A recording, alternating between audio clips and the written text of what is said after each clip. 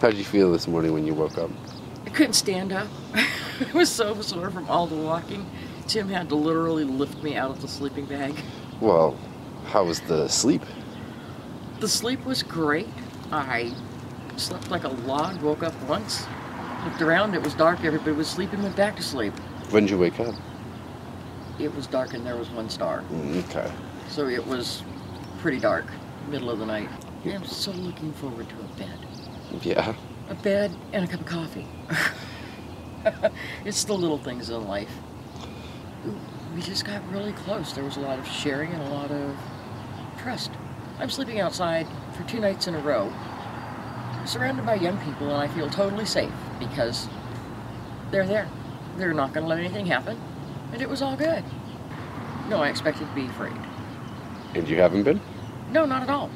Not at all. Everybody just felt safe. I will give blankets. I will not go to the store and buy myself a blanket that I don't give one to donate. It was freezing. I'll talk to people or at least understand if they talk to me. And just because you smell like you haven't had a shower in three days doesn't mean you're not a good person. I can at least be respectful and polite. I, you know, I don't talk to strangers a lot, but I won't blow you off anymore. Even if it's uncomfortable, I won't be able to. I'm stronger than I thought I was. I really am.